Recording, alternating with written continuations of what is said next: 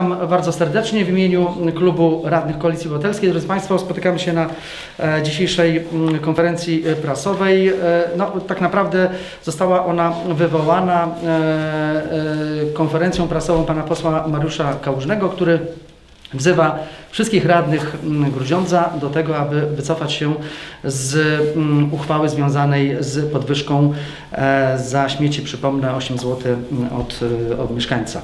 E, Drodzy Państwo, pan poseł Mariusz Kałużny mówi, że rozmawiał bardzo długo z panem wiceministrem Jackiem Ozdobą, że no, przynajmniej z tej konferencji prasowej można domniemywać, że ma mm, tak naprawdę w małym palcu y, sprawy związane z wywozem e, odpadów. E, My wszyscy doskonale wiemy, e, zdajemy sobie z tego sprawę, że problem odpadów nie dotyczy, drodzy Państwo, tylko Grudziądza. Przypomnę także, że Klub Radnych Koalicji Obywatelskiej zorganizował także i konferencję prasową, na której mówiliśmy, na co nie mamy wpływu, dlaczego, skąd bio- biorą się takie, a nie inne stawki i drodzy Państwo, dzisiaj niejako czujemy się wywołani do tablicy przez Pana posła Kałużnego. Chcielibyśmy się tutaj odnieść do, do paru spraw, ale e, na początku na pewno podkreślić, że e, tak jak od nas oczekuje się, żebyśmy działali e, zgodnie z literą prawa, także my oczekujemy od e, e, tych wszystkich, którzy no, próbują nas wywołać do tablicy, czy też oczekują czegoś od nas, żeby także działali na podstawie prawa. I tu mam na myśli to, co powiedziałem na początku, że jeżeli pan Mariusz Kałużny rozmawiał z panem wiceministrem Uzdobą, to mam nadzieję, że ma świadomość, jaki problem stanowią śmieci, wywóz śmieci w Polsce. Drodzy Państwo, oddam głos teraz radnemu Pawłowi Napolskiemu i pokrótce będziemy odnosić się do e, kilku spraw zawartych e, w konferencji prasowej posła Kałużnego. Proszę bardzo.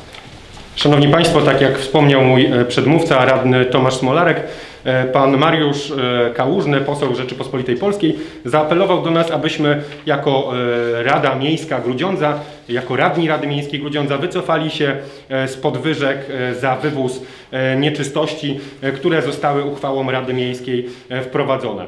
My już wielokrotnie informowaliśmy, z czego wynikały te podwyżki, że to nie jest nasze widzimy się, że nie mamy na to wpływu, że musimy przestrzegać prawa. Dlatego też apelujemy do pana posła Mariusza Kałużnego, żeby to właśnie pan poseł Mariusz Kałużny, który ma wpływ na to, jak wyglądają obecnie ustawy, jak wyglądają obecnie rozporządzenia ustanawiane przez jego partyjnych kolegów, aby to właśnie pan poseł swoimi kanałami wpłynął na zmianę przepisów prawa, na takie, które nie zobowiązywałoby rad miejskich, rad gmin do, e, w cudzysłowie mówiąc, e, fundowania e, podwyżek mieszkańcom, które wynikają właśnie z tychże, e, z tychże przepisów. E, Pan poseł Mariusz Kałużny, powołując się na rozmowę z wiceministrem Jackiem Ozdobą, e, podkreślił, że e, pan minister jakby nie podziela e, naszych, e, naszego tutaj zdania, z czego wynikają właśnie e, te podwyżki. Otóż, e, Szanowni Państwo, e, pan Mariusz Kałużny, poseł na Sejm Rzeczypospolitej Polskiej, e, również e, podważył, e, czy, czy stwierdził, że to, e, iż e, mm, system musi się bilansować, jest nieprawdą. Powiedział, ale to nie jest prawda. To nie jest prawdą, że miasto nie może dopłacać. Wiele gmin dopłaca do śmieci i miast.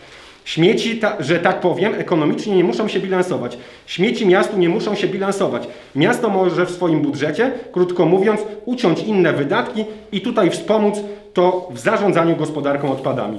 Otóż, Szanowni Państwo, ja chciałbym jako pierwszy dokument przedstawić interpelację, e, czy odpowiedź na interpelację poselską, którą e, udzieliło Ministerstwo Klimatu i Środowiska, a w zasadzie mówiąc przywołany już wcześniej e, pan wiceminister Jacek Ozdoba. Otóż w odpowiedzi na interpelację poselską pan minister pisze Wszystkie koszty, które gmina ponosi w związku z prowadzeniem wyżej wymienionego systemu, powinny być pokrywane z opłat za gospodarowanie odpadami komunalnymi, które każdy właściciel nieruchomości w danej gminie jest obowiązany uiścić. W związku z tym wysokość opłaty, którą ponoszą mieszkańcy gminy, jest wypadkową kosztów ponoszonych przez gminę w ramach samofinansującego się systemu. To jest luty bieżącego roku, dodajmy. To jest y, z y, początku tego roku. Bardzo świeża sprawa. Kolejna, e, Szanowni Państwo, informacja o tym, że system musi się samofinansować, została zamieszczona na stronie internetowej Ministerstwa Klimatu i Środowiska w dniu 30 marca bieżącego roku. Otóż w komunikacie tym jest informacja. System gospodarowania odpadami komunalnymi zorganizowany przez gminę powinien się samofinansować. Przekłada się to na obowiązek ustalania wysokości ponoszonych przez mieszkańców gminy opłat na poziomie zabezpieczającym pokrycie, y, pokrycie kosztów funkcjonowania systemu. Prawidłowo skalkulowana opłata za gospodarowanie odpadami komunalnymi powinna z jednej strony zapewniać sprawne funkcjonowanie systemu odbioru i zagospodarowania odpadów na terenie gminy, z drugiej zaś nie może stanowić źródła dodatkowych zysków gminy. Dopłacanie do tego systemu z innych środków gminy nie powinno mieć miejsca i może zostać uznane za dopuszczalne jedynie w sytuacji wyjątkowej, przejściowej. Kolejny, Szanowni Państwo, dokument, który reguluje tę kwest- tę kwestię, to jest, e, to jest informacja o wynikach kontroli przeprowadzonej przez Najwyższą Izbę Kontroli, czyli organ kontrolujący państwo. To zatytułowany raport jest Realizacja zadań gminy w zakresie zagospodarowania odpadów komunalnych. Na stronie 39 tegoż raportu czytamy Raport Najwyższej Izby Kontroli. Zbilansowanie przychodów i kosztów dotyczących gospodarki odpadami komunalnymi jest obowiązkiem gmin wynikającym z artykułu 6r ust. 2 ustawy o czystości i porządku w gminach. Oznacza to, że system gospodarowania odpadami komunalnymi powinien funkcjonować na zasadzie samofinansowania, to znaczy jego koszty należy pokryć ze środków uzyskanych przez gminę z opłat od właścicieli nieruchomości, na których powstają odpady. Dlatego wysokość ponoszonych przez mieszkańców opłat powinna być ustalana na poziomie zabezpieczającym pokrycie kosztów funkcjonowania systemu. Kolejna, Szanowni Państwo, informacja to prace, które trwają w Ministerstwie Klimatu i Środowiska, za które zapewne też jest odpowiedzialny bądź współodpowiedzialny pan minister Jacek Ozdoba, na którego powołuje się pan poseł Kałużny. PiS szykuje rewolucję śmieciową.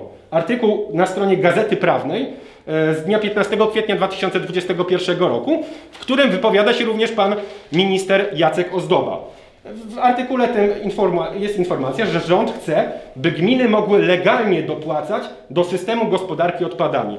W związku z tym, w związku z tym, Szanowni Państwo, pytamy dzisiaj pana posła Mariusza Kałużnego, czy apel, który wystosował do Rady Gminy o łamanie prawa jest apelem, e, który, e, który e, został poparty jakimiś dokumentami, czy może wyssanymi z palca na potrzeby chwili informacjami? Jeżeli tak, prosimy pana Mariusza Kałużnego, posła na Sejm Rzeczypospolitej Polskiej, aby przedstawił konkretne dokumenty, tak jak zrobiliśmy my to przed chwileczką.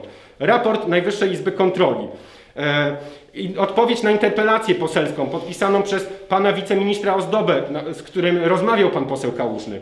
E, Prace, które trwają e, w rządzie, aby system gospodarowania odpadami do systemu gminy mogły dopłacać, żeby mogły robić to legalnie. I tu, szanowni państwo, kolejna, kolejna wypowiedź pana, pana ministra Ozdoby właśnie, właśnie w tym artykule.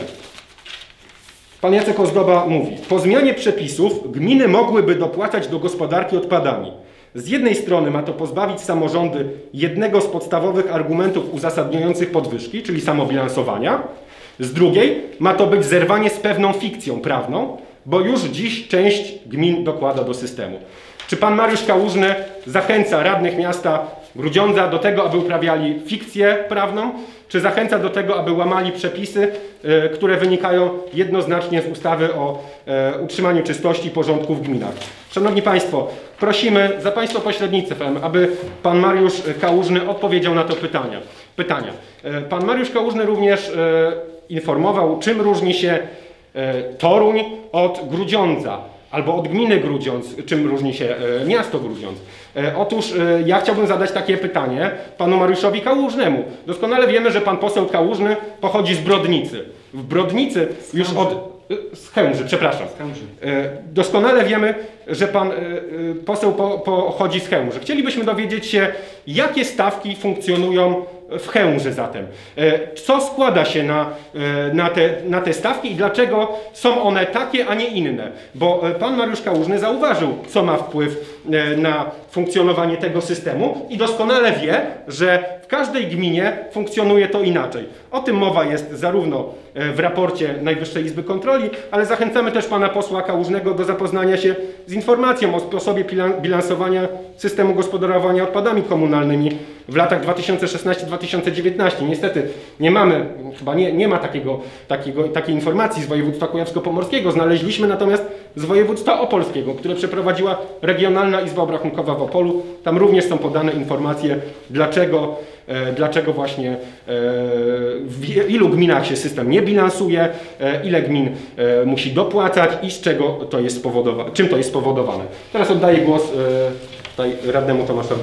Tomaszowi Szanowni. Państwo, radny Paweł Napolski no, bardzo trafnie i sprawnie e, przedstawił e, jakby problem związany z, ze śmieciami, drodzy Państwo, i z wywozem tych nieczystości, tak, który jak mówiłem dotyczy e, całego kraju. Ale problem, Szanowni Państwo, w naszej ocenie chyba jest taki, że te przepisy rzeczywiście są może nie do końca precyzyjne. Opieramy się cały czas na ustawie, z końca 2011, ona tak naprawdę weszła w życie w 2012 roku, w której jest e, napisane, że system ma się e, samobilansować. I, I pewnie słowo samobilansować dzisiaj jest, no, e, nie schodzi z ust włodarzom wielu miast, którzy stoją tak naprawdę no, między młotem a kowadłem. Czy rzeczywiście dołożyć e, do tych, e, do wywozu nieczystości, e, czy działać zgodnie z prawem. My stoimy na straży, że trzeba działać zgodnie z prawem. Natomiast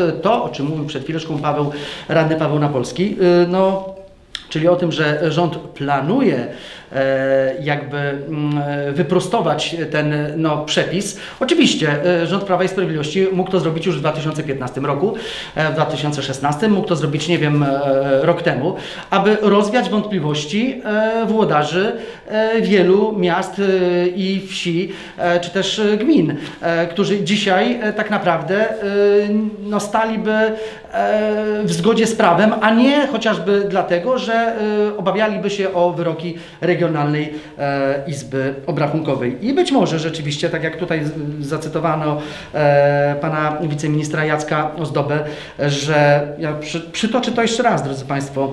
Po zmianie przepisów gminy mogłyby dopłacać do gospodarki odpadami. Z jednej strony ma to pozbawić samorządy jednego z podstawowych argumentów uzasadniających podwyżki, czyli to samobilansowanie. Z drugiej ma to być, być zerwanie z pewną fikcją prawną, drodzy Państwo. Pewna fikcja prawna, to znaczy e, pytanie, czy chcemy działać zgodnie z prawem, czy wystawiamy się na, na pewne ryzyko. W naszej ocenie powinniśmy działać zgodnie z prawem, a od tego mamy rząd. I tu wcale nie zrzucamy żadnej odpowiedzialności na rząd, tak jak to su- sugeruje poseł Mariusz Kamiński.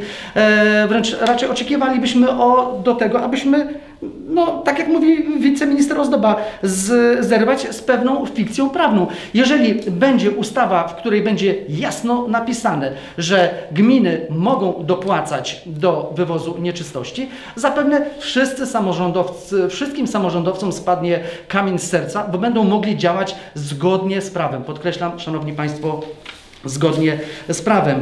E, e, Padały tutaj e, pewne mm, interpelacje poselskie. Ja znalazłem też taką interpelację, drodzy Państwo, z końca 2019 roku. Poseł Paweł Podłowski e, wtedy zadał podobne pytanie i ówczesny, ówczesny wiceminister Sławomir Mazurek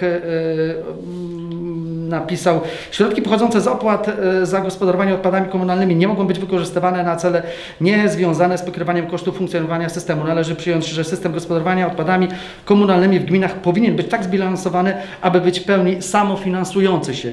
I drodzy Państwo, na podtrzymanie tego założenia ministra, ministerstwo, ministerstwo podkreślam, wskazuje wyrok Sądu Administracyjnego w Bi- w Białymstoku, e, który mówi, że prawidłowo z 2013 roku, prawidłowo skalkulowana opłata za gospodarowanie odpadami komunalnymi powinna z jednej strony zapewniać sprawne funkcjonowanie systemu odbioru odpad, odpadów na terenie gminy, z drugiej zaś nie powinna e, stanowić źródła dodatkowych zysków gminy. Drodzy Państwo, ja rozumiem, że e, e, po tych naszych przykładach pewnie pojawią się różne różne interpretacje RIO, sądów e, itd., itd.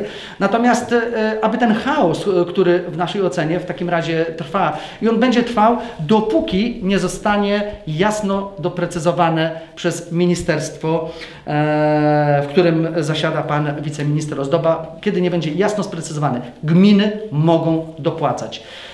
Jeżeli pojawi się taki zapis, po- podkreślam, oczywiście trzeba się natychmiast pochylić i zweryfikować oczywiście wtedy obowiązujące stawki, ale chcę, drodzy Państwo, podkreślić, że ten zapis na pewno pozwoli włodarzom nie tylko Gruziądza, ale wszystkich e, miast i miasteczek w Polsce na działanie zgodnie z prawem. Dzisiaj jest to takie troszeczkę na pograniczu, to przyrównałbym do tego, że czy mogę wjechać na czerwonym świetle? No nie, no nie mogę, no ale zaryzykuję, bo, bo wjadę na czerwonym świetle. A więc, drodzy Państwo, przestrzeganie prawa i tego oczekujemy y, także od pana y, posła e, Mariusza mm, e, e, e, Kałużnego. Kałużnego, aby no, bardziej skupił się chyba na tym, e, żeby to prawo zostało jasno i precyzyjnie określone. Aha, tak, oczywiście. Y, Drodzy Państwo, no, myślę, że temat śmieci, że chyba, że są na tym etapie jakieś pytania. No co wy byście musieli zrobić zdaniem, y, gdyby chcieli, chcieli zrealizować to, co mówi poseł Kałużny? Jak by musiała wyglądać polityka rady w takim razie? To znaczy, no nie ma czegoś takiego, no bo ustawa mówi jasno.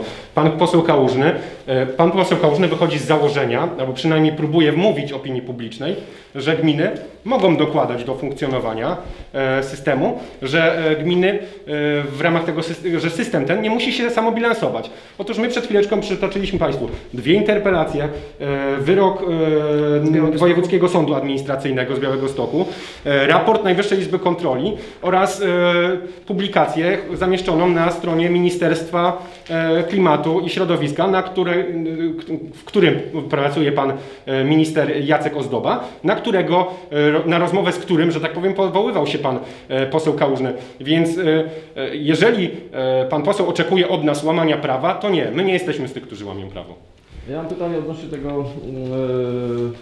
tego waszego zapału do poszukania, że e, jakby rozwiązanie, które zostało wprowadzone w Grudziądzu jest zgodne z prawem. Czy znaleźliście na przykład w Polsce gminy, które e, płacą, dopłacają do systemu? e, Są, ale jest to nielegalne i to wynika chociażby e, z e, tej interpretacji, która, którą przed chwileczką e, przedstawiliśmy Państwu. Ale ta Także interpretacja... Podawałem przykład, kiedy rozmawialiśmy tutaj w kuluarach, opinię Regionalnej Izby Obrachunkowej z Rzeszowa, która podważyła uchwałę jednego z miasta, w którym burmistrz skalkulował e, stawkę na poziomie 25 zł i ta stawka pozwalała na zbilansowanie się systemu. Natomiast tamtejsi radni nie podjęli e, rękawicy, nie przychylili się e, ku tejże stawce i stawkę zaproponowali na poziomie bodaj 14 zł. Co zrobiła Regionalna Izba Obrachunkowa? Uchyliła tą uchwałę. A więc e, tak działa RIO, drodzy Państwo. No ja mam odpowiedź z Rio z dniem dzisiejszym, którą dostałem, że Rio e, e, napisało wyraźnie w tym piśmie, że jest brak podstaw do uchylenia, uchylenia e, tej e, uchwały, dlatego że tej, przepisy, która obecnie obo- obowiązuje, mówię o waszej uchwale, która bilansuje system. No tak, no to nie można uchylić. znaczy nie, ja mówię o tym, gdyby e, miasto chciało dopłacać do e, śmieci i taka uchwała by była na przykład, że nie ma podwyżki, dopłacamy 4 miliony na przykład do śmieci z budżetu miasta, Rio nie miałoby podstaw do tego, żeby tą uchwałę unieważnić. No i- byłoby źródło finansowania. No ale innego zdania jest Ministerstwo Środowiska, Klimatu i Środowiska, innego zdania jest Najwyższa Izba Kontroli. e, Ta interpe e, interpelacja są- poselska, e, która była do ministra Mazurka, tam trzeba doczytać do końca. Do, na końcu jest napisane też to, że system... Tak, oczywiście. przepisy- Proszę to przeczytać. Yy, Ma pan, ma pan rację. Yy, Ustawa nie zawiera, nie zawiera przepisów zakazujących Dokładnie. ewentualnego dofinansowania systemu z innych środków własnych. Dokładnie. Ale proszę zwrócić uwagę, ale w lutym, to czytował, cytował przed chwileczką e, kolega radny e, Paweł Napolski, wiceminister klimatu i środowiska Jacek Ozdoba napisał, cytuję jeszcze raz, Wszystkie koszty, które gmina ponosi w związku z prowadzeniem systemu, są pokrywane z opłat za zagospodarowanie odpadami komunalnymi, które każdy właściciel nieruchomości w danej gminie jest obowiązany uiścić. I teraz najważniejsze zdanie. W związku z tym wysokość opłaty, którą ponoszą mieszkańcy gmin, jest wypadkową kosztów ponoszonych przez gminy w ramach samofinansującego się systemu. Wskazał wiceminister. Ale szanowny panie redaktorze, bo też e, pan wychodzi z takiego założenia, że skoro jest taki zapis, że inaczej, skoro nie ma zapisu, że coś e, nie musi się e, inaczej, że, że nie ma zapisu, że nie, nie jak pan powiedział, No nie jest wprost zabronione. Do, e, to dopłacanie znaczy jest do... nakazane, że ma się system bilansować. Tak, to jest- wynika jednoznacznie. Tak, ale A RIO stwierdza, my, że- jako, tak, ale e, to niech Rio przeczyta też artykuł 7 Konstytucji, e, z którego wynika jasno, że organy państwa, a w tym przypadku na przykład gmina miasto Grudziądz, musi działać na granicach, na zasadach i w granicach prawa. Czyli jeżeli my nie mamy czegoś jasno sprecyzowanego, to nie możemy tego wprowadzać. Także No tak, ale Rio mi odpisuje dzisiaj na ja wprost. nie widziałem tej odpowiedzi, panie redaktorze, także trudno mi się do niej odnosić. Ja przytoczyłem panu, przytoczyliśmy panu dwie interpelacje, wyrok e, Wojewódzkiego Sądu Administracyjnego, e, w, e, raport Najwyższej Izby Kontroli, e, e, minister, e, inaczej, wypis, czy, czy, czy w sensie e, screen ze strony internetowej Ministerstwa Podaliśmy Środowiska. przykład Rzeszowa, gdzie tamtejsza, e, tamtejsze Rio e, no, e, zrobiło podgórkę e, burmistrzowi. E, uznało, że nie działa zgodnie z prawem.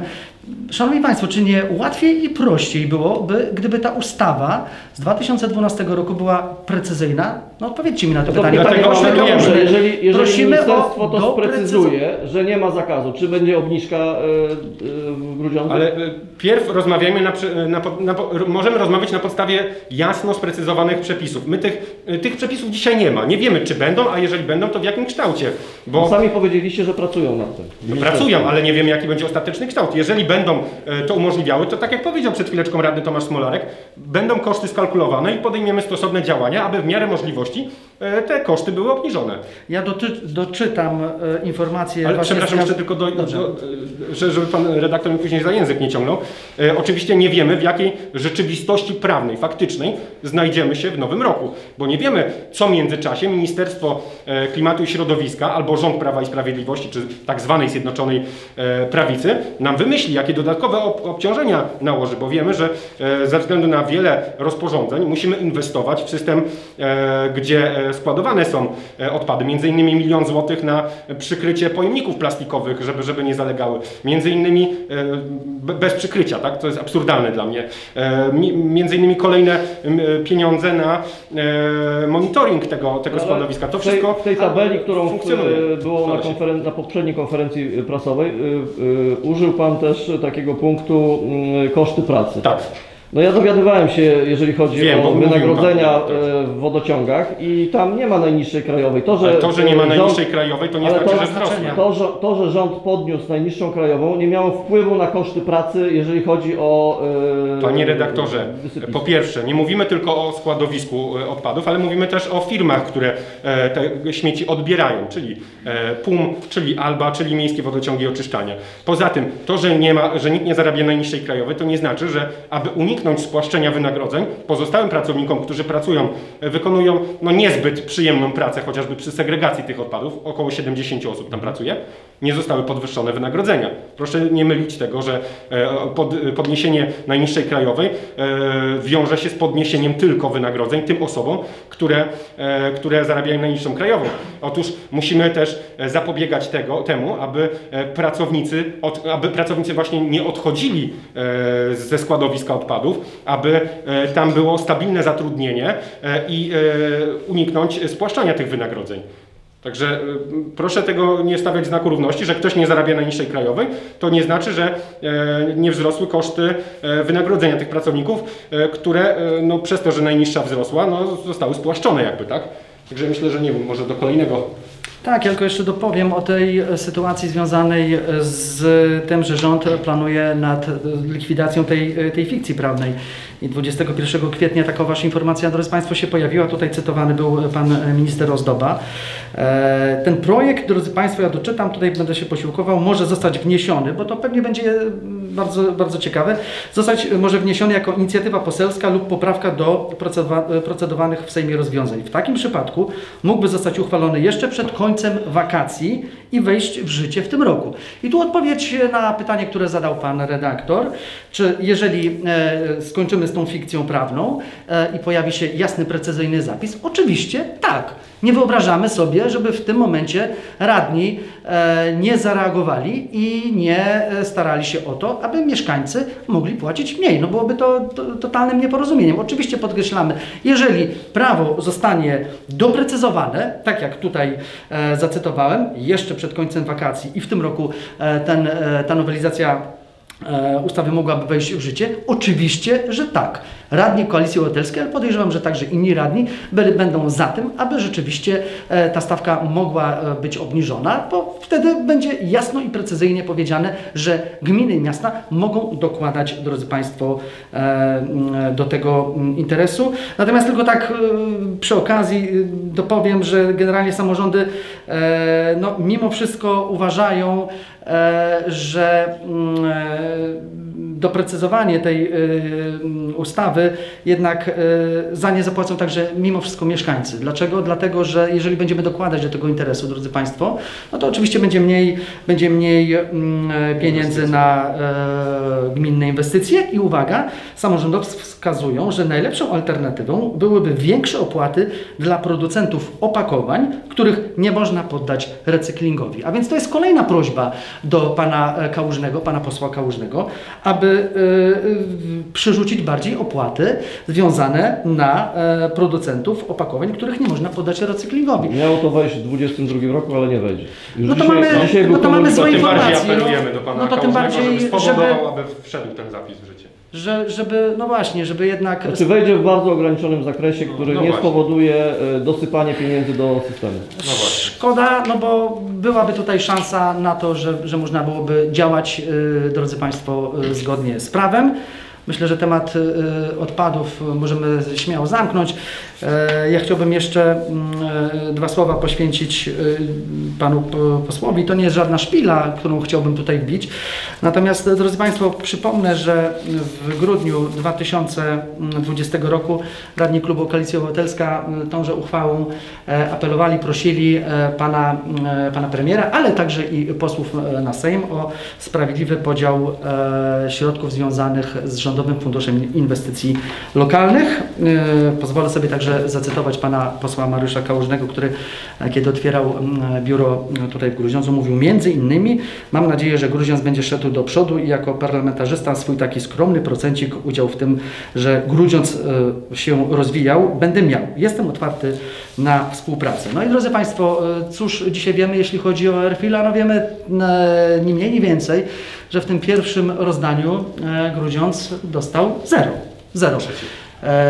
E, W trzecim rozdaniu. w trzecim, tak, tak, tak, tak, oczywiście. E, I drodzy Państwo, 1 kwietnia, i to nie jest wcale prima aprilis, e, Chęża, z której pochodzi pan e, poseł Kałużny, otrzymała 2,9 miliona złotych w ramach Rządowego Funduszu Inwestycji Lokalnych. E, Pozwolę sobie zacy- zacytować pana burmistrza Jerzego Czerwińskiego. Dobra perspektywa dla naszej inwestycji w mieście. W ramach Rządowego Programu Inwestycji Lokalnych Chęża otrzyma 2 miliony 900 tysięcy złotych. Chciałbym serdecznie podziękować panu posłowi Mariuszowi Kałużnemu za wsparcie i pomoc w uzyskaniu tych środków oraz życzyć zdrowych i radosnych świąt wielkanocnych. Drodzy Państwo, no, ja też chciałbym złożyć takie e, e, gratulacje i takie podziękowania dla pana posła Kałużnego, ale tutaj widzimy zero, a więc no, no niestety, mm, no cóż powiedzieć o aktywności. E, Natomiast pan poseł Kałużny mówi jasno i wprost, że Grudziądz jest bardzo bliski jego sercu, natomiast e, szanowni mieszkańcy, tyle z Erfilu dzięki wsparciu i działalności pana posła Kałużnego otrzymał Grudziądz.